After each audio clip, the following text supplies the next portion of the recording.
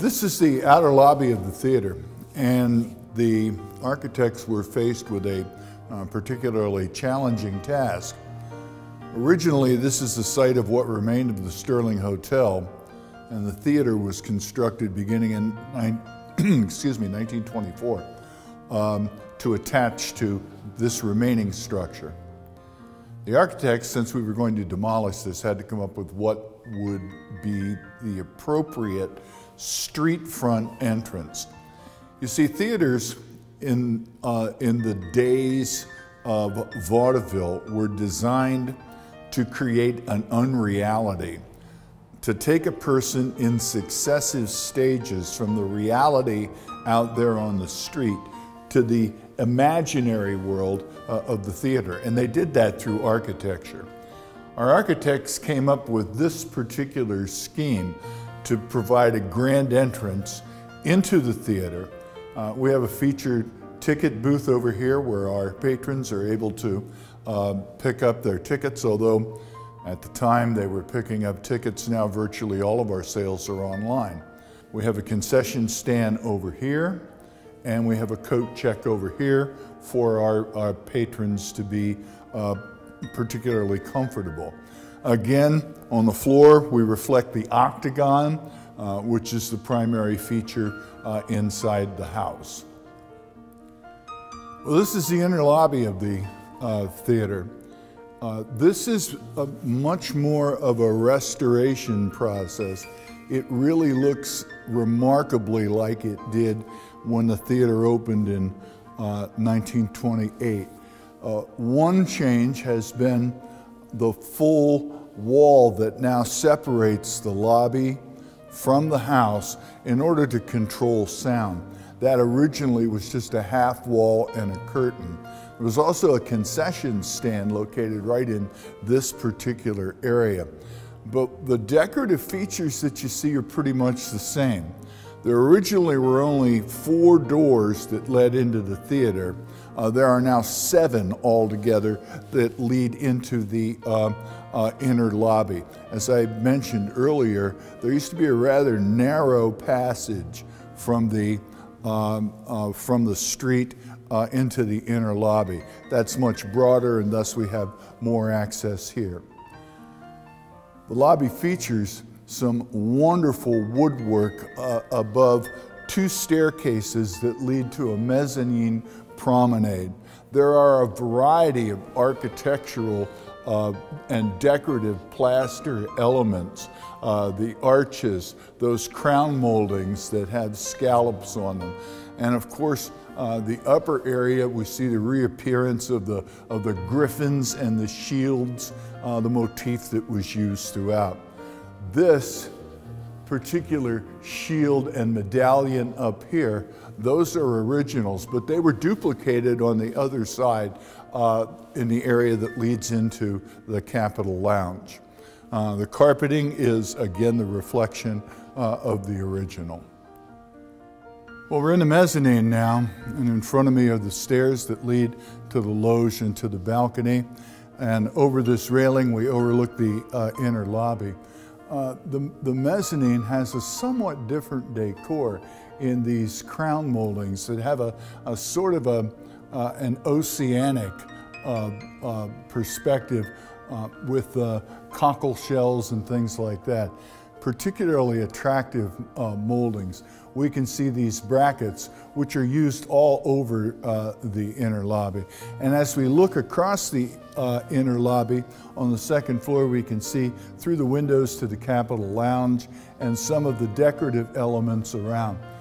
If we look up in the tray ceiling area, every one of those tiles was completely painted out.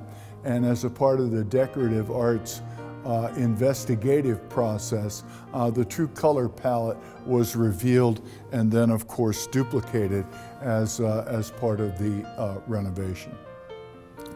Right from the beginning of the uh, renovation project and the new construction, we knew that we wanted to incorporate a, a, facility uh, that would allow our patrons to uh, have the opportunity to have a drink or meet friends or enhance the theatrical experience in that way. And we created what we then called the Patrons Lounge. And it was available for individuals who had made certain levels of contribution uh, to the capital campaign. And it operated in that somewhat exclusive manner uh, for a period of about 10 years, after which we recognized that declining interest among those original donors and the opportunity to open it to all of our patrons. And so we rebranded it and called it uh, the Capitol Lounge rather than the Patrons Lounge. And it's a wonderful place to meet friends um, before a particular uh, performance, during intermission, or after the show. Well, we're inside the theater now, and at the back of the orchestra section, uh, we have this area from which sound and lights are controlled. The technology in the theater world has advanced many, many iterations since we opened this place. Now virtually everything is done through computer controlled uh, programs to produce the quality of sound and the lighting effects that make a live performance in the theater uh, something really special. One of the more interesting stories of discovery concerns um, these seat standards. As you can see, they're really very elaborate, very uh, gaily decorated with fleur-de-lis and vase and fruit and all different colors. In 1936, a flood took out the entire orchestra area and all of the seats were destroyed and replaced with a considerably less ornate uh, kind of uh, seating product. However, in the balcony, the original seats remained. Now, over the years, um, soil, dirt, grease, all of that sort of thing obscured the colors. We took one of these seats, as a matter of fact, I took one of the standards and took it home. And I noticed when I got it outside in, in, um, in sunlight that there were colors on it. We didn't even know they existed.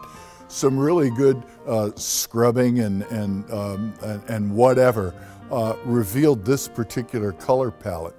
When the theater renovation uh, then was completed, the American Seating Company, which had provided the original seats, was able to take the uh, seat standards from the original uh, balcony area and replicate them for down here in, uh, uh in the orchestra area. Uh, in the orchestra section, uh, we have a special area where we recognize the major donors of uh, to the capital campaign. Uh, we call this the Sterling Circle after the hotel that occupied this seat. These seats are choice seats, obviously. There are five rows of them um, that are, you know, center in the orchestra. Uh, they have a little bit more room. The seats are a little bit larger. and they're also a bit more decorated. These are premium seats for which we charge a premium price, and they were literally uh, doled out to the major donors uh, immediately after the capital campaign, many of whom still uh, retain seat ownership uh, of, uh, uh, of these particular seats. From this position in the orchestra, you can see much of the decorative areas. on my right and left, uh, are the original organ chambers. Uh, the organ was actually uh, over in that particular direction. You see the stenciling uh, uh, that surrounds uh, the organ chambers, goes above the proscenium, surrounds the proscenium arch.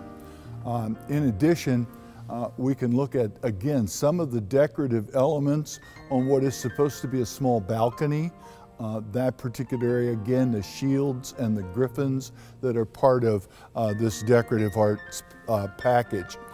Um, but the, the, the, major element of, of this theater uh, is the octagon. And as you can see, we have an octagon within an octagon within an octagon. It's replicated throughout. The shields uh, showing the heraldic uh, kinds of, of figures, the old man in the sea, the griffins, the various elements in the shields, uh, the, crowns.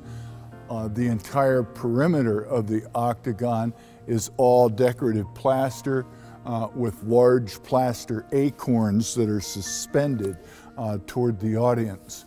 Uh, we can easily see uh, the murals on the side of the theater on the second floor, surrounded by columns and arches and again, faux balconies. Much of the stenciling that you see close to the stage, around the organ chamber, around the uh, proscenium arch, we were able to identify from an early photo in the theater. Um, but the stenciling that goes around the upper ceiling, the lower ceiling, underneath the balcony in the back of the theater, we had no idea that, that, that this existed. And that all had to be discovered as part of the decorative arts investigative process and then replicated uh, in the original color palette. We ended up finding a whole lot more uh, stuff as we undertook our investigation.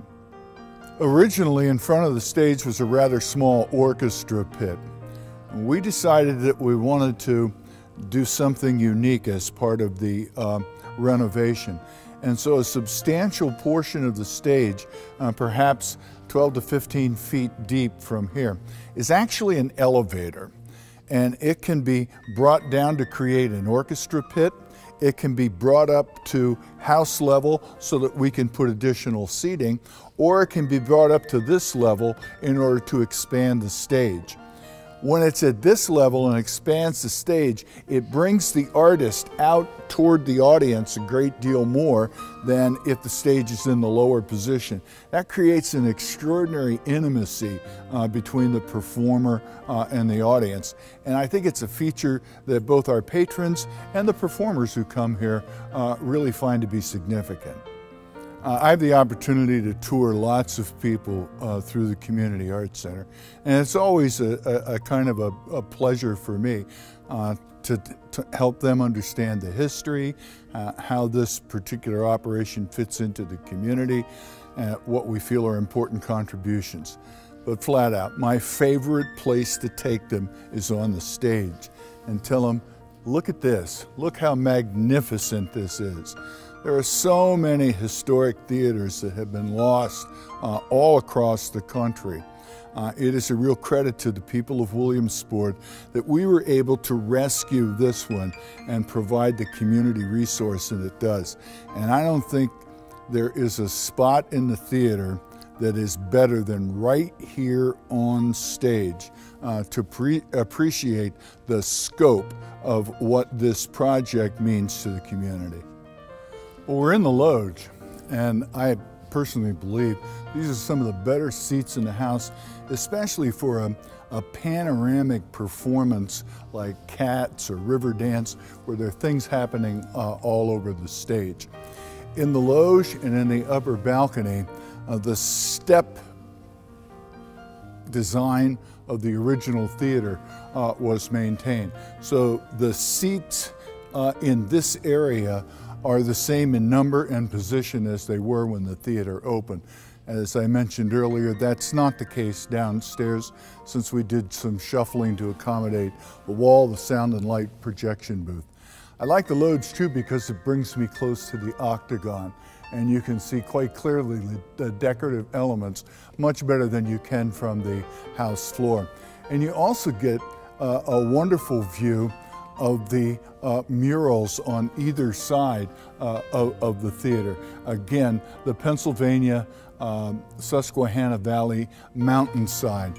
Uh, again, I think these particular seats are among uh, the best in the house, although perhaps I'm somewhat prejudiced. I don't think there's a bad seat in the house important to reflect on the many changes that we've made uh, to this facility uh, some of them driven by different means, changes in technology. Um, for example, the room in which we're seated now, uh, the, the Capitol Lounge, not only has a different name, but it has an entirely different decor than was originally designed. Uh, it, it's a much more uh, bright and open area as opposed to the rather clubby nature uh, of, of, the original uh, um, construction. Uh, outside, uh, over the marquee, there's now a balcony uh, from which folks can be seated outside and have a drink. Uh, at the end, over what we lovingly refer to uh, as the piano portion of the marquee, uh, is a fire pit. The marquee overlooks a plaza area. Uh, that um, uh, has an outdoor performing stage that's used for various events uh, in the Williamsport area. Uh, inside, things are very different than they were in 1993 in terms of operations. I'd hate to go through how many technological changes have been made in theater performance technology, uh, such as sound and lights.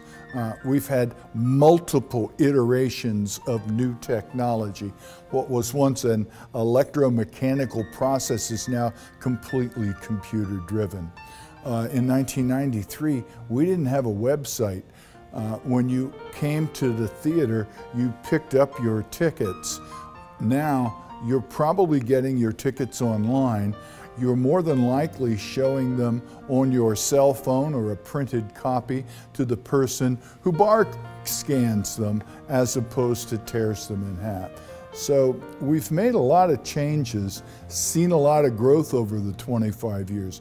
And while it's fun to reflect on the things that we accomplished in the opening in 1993, it's also kind of neat to look at how we've tried to keep pace with a, a changing world.